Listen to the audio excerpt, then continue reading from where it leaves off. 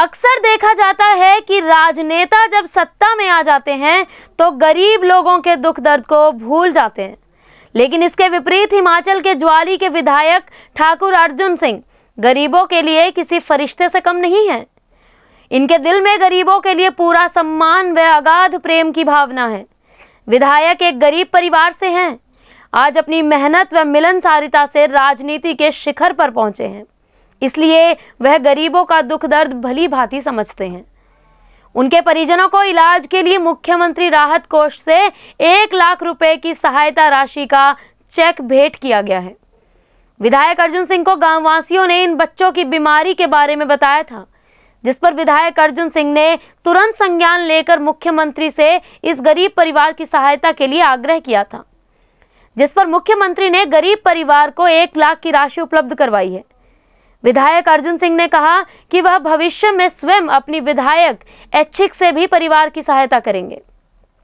इस अवसर पर विधायक ने कहा कि जयराम सरकार गरीबों की सरकार है। ज्वाली से संवाददाता दौलत चौहान की रिपोर्ट। सबसे पहले तो मैं इस परिवार के साथ इनका जो दुख है उसको साझा करता हूँ। इनके दो बेटे हैं। इनको ऐसी बीमारी है जिसका कोई शायद ही कहीं इलाज हो।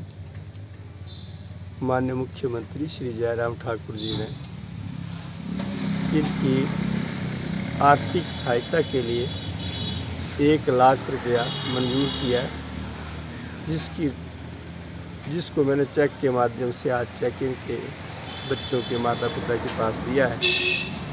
मैं अपने मुख्यमंत्री जी का बहुत बहुत आभार व्यक्त करता हूँ।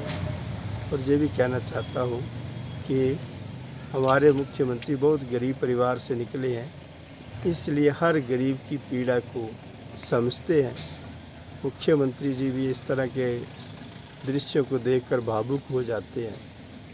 तो मैं अपनी तरफ़ से, इनकी तरफ़ से माननीय मुख्यमंत्री जी का भी धन्यवाद करता हूँ। और मैं ये भी कहना चाहता हूँ, समय आने पर मैं दोबारा फिर इनकी मदद। माननीय मुख्यमंत्री जी से भी कराऊँगा। अपने विधायक निधि से जो हमें मिलती है निधि उससे भी करूँगा।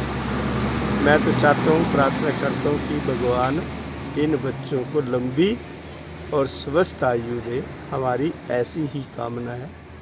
आप भी यहाँ आए हैं, आपका ऐसे ही लेटेस्ट खबरें पाने के लिए बेल आइकन को क्लिक कर हमारे चैनल को लाइक, शेयर एंड सब्सक्राइब करें। धन्यवाद।